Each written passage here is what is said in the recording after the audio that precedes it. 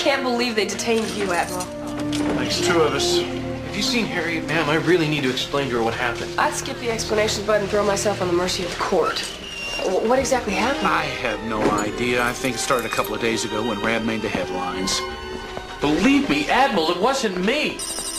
Naval aviator ran amuck at Washington's ultra hip club Vertigo last night, bringing new meaning to the old song, What Do You Do with a Drunken Sailor?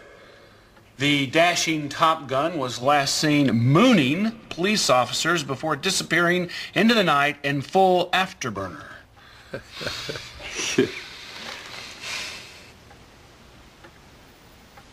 What are you guys looking at me for? You're the only lieutenant commander I know with wings and uh, JAG insignia on the shoulder boards. Does kind of look like you, huh? What do you think, Carolyn? Oh, guilty as charged. It wasn't me, Admiral. For one thing, I was here with the lieutenant until 22.30 last night working on the whole Barth case. He was, sir. Yeah, and I don't even have my dress whites at the moment. They're at the cleaners.